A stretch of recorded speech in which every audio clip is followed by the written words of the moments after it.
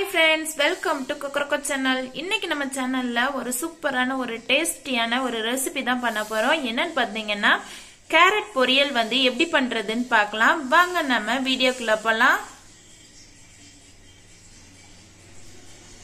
Carrot பொரியல் செய்வதற்கு தேவையான பொருட்கள் பார்த்துடலாம் நான் நாலு கேரட் எடுத்து நல்லா மீடியம் சைஸ்ல நல்லா துருவி எடுத்துட்டு அந்த துருவலை வச்சு அப்புறம் சீரகம் ஒரு டீஸ்பூன் ஒரு பெரிய வெங்காயத்தை எடுத்து நீள் வாக்கில் அதையும் நல்லா பொடிசா அரிஞ்சு எடுத்துருக்கிறேன். கருவேப்பிலை கொஞ்சம் அதுக்கப்புறம் பச்சை மிளகா காரத்துக்கு ஏற்ப மிளகு பொடி கடுகு தாளிக்க. வாங்க எப்படி செய்யறதுன்னு பார்க்கலாம். இப்போ அடுப்பை ஆன் பண்ணிட்டு நான் தாய்ச்சி வச்சிருக்கிறேன். தாய்ச்சி கொஞ்சம் சூடாகட்டும்.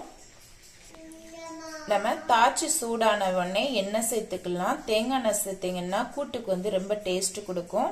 ஸோ தேங்காய் எண்ணெய் இருந்துச்சுன்னா நீங்கள் தேங்காய் எண்ணெய் ஊற்றிக்கோங்க இப்போ என்கிட்ட தேங்காய் எண்ணெய் இல்லாதனால நான் வந்து சமையல் எண்ணெய் தான் யூஸ் பண்ணுறேன் நான் வந்து கோல்டு வின்னர் எண்ணெய் யூஸ் பண்ணுறேன் ஒரு மூணு ஸ்பூன் அளவு எண்ணெய் விட்டால் போதும். இப்போ எண்ணெய் சூடானோடனே நம்ம கடுகு சேர்த்துடலாம். இப்போ கடுகு நல்லா பொரிஞ்சிட்டு இப்போ நம்ம வெங்காயம் சேர்த்துடலாம்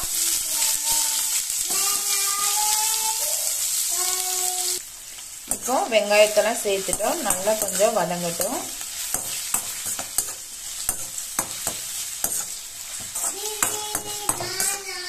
நல்லா வந்து விதை கொடுங்க வெங்காயம் வந்து ரொம்ப வந்து வதங்கக்கூடாது. ஓரளவு தான் வதங்கணும்.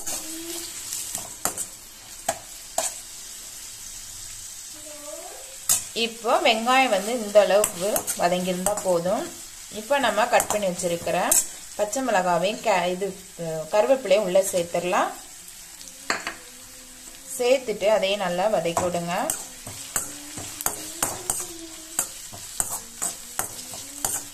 இது கொஞ்சம் வதங்கின உடனே நம்ம துருவி வச்சிருக்கிற கேரட்டை உள்ள சேர்த்துடலாம். இப்போ துருவி வச்சிருக்கிற கேரட்டை நம்ம உள்ள சேர்த்துருவோம்.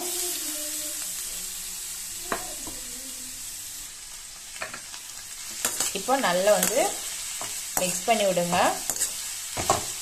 கேரட் வந்து நல்லா வந்து வதங்கணும்.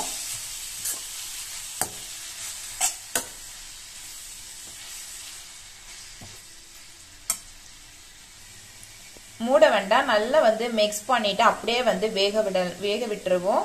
ஸோ அப்படியே ஒரு மூணு நிமிஷம் நல்லா வந்து வேகட்டும். கேரட் வந்து நமக்கு சீக்கிரமாகவே குக் ஆயிரும். அதனால வந்து அப்படியே கொஞ்ச நேரம் அப்படி கிளறி மட்டும் விட்டுக்கோங்க.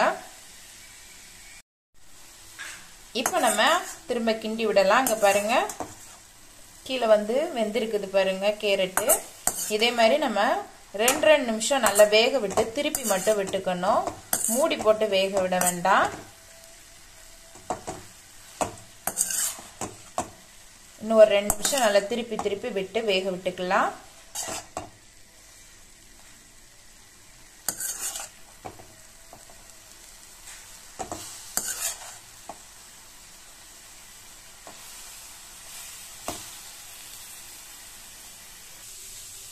பாருங்க இப்ப கேரட் வந்து நல்லா வந்து வதங்கிருச்சு. நம்ம இப்படி வதக்குறதுனால மூடி போட்டாம நம்ம வதக்குறதுனால நமக்கு வந்து ஃப்ரெஷ்ஷான அப்படியே கேரட் அப்படி போட்ட மாதிரியே இருக்கும். ஆனா வந்து பாத்தீங்கன்னா கேரட் வந்து நல்லா வந்து வெந்திருக்கும்.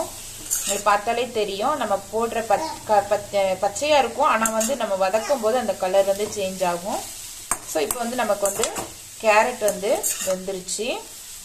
இந்த ஸ்டேஜில் நம்ம தேவையான அளவு உப்பு சேர்த்துக்கலாம். தேவையான அளவு உப்பு சேர்த்துட்டு மிக்ஸ் பண்ணி விட்டுருங்க. இப்போ உப்பு சேர்த்து நல்லா வந்து மிக்ஸ் பண்ணிட்டோம். இப்போ நம்ம எடுத்து வச்சுக்கிற சீரகத்தை வந்து நல்லா வந்து இப்படி கசக்கிட்டு சேர்த்துக்கோங்க.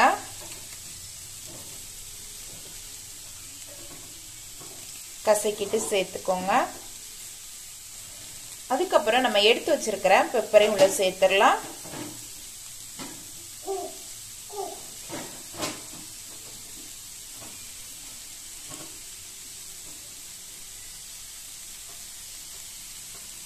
ஏன்னா கேரட் வந்து இனிக்கும். அதனால வந்து நம்ம பெப்பர் தூள் சேர்த்தோம்னா கேரட் பொரியல் வந்து நல்ல இன்னும் டேஸ்ட் கொடுக்கும் நமக்கு. இப்போ நல்லா வந்து மிக்ஸ் பண்ணிக்கலாம். இப்போ நல்லா வந்து மிக்ஸ் பண்ணியாச்சு அவ்வளோதாங்க அடுப்பை நம்ம ஆஃப் பண்ணிடலாம். சூப்பரான டேஸ்டியான கேரட் பொரியல் வந்து நமக்கு ரெடி ஆயிடுச்சு பாருங்கள் பார்க்கறதுக்கே அப்படியே ஃப்ரெஷ்ஷாக இருந்த மாதிரியே இருக்கும் நம்ம. ஆனால் கேரட் நல்லா குக் ஆகிருக்கும் வெந்திருக்கும்.